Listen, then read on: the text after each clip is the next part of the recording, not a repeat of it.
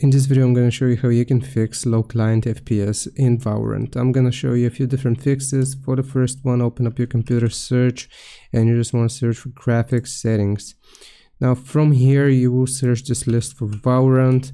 You want to find the game itself click on here to expand it and where it says GPU preference make sure this is set to high performance.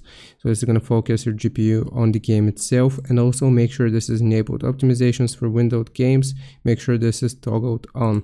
The second thing that we can do is uh, search for Valorant directly here from the search bar. Right click on the app itself. Open file location.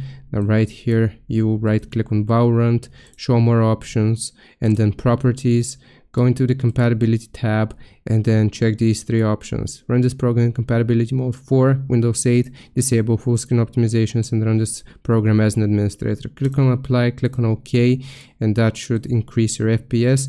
And if it doesn't, the last thing that you can do is try opening up Valorant directly uh, from within the settings there and reducing the settings quality.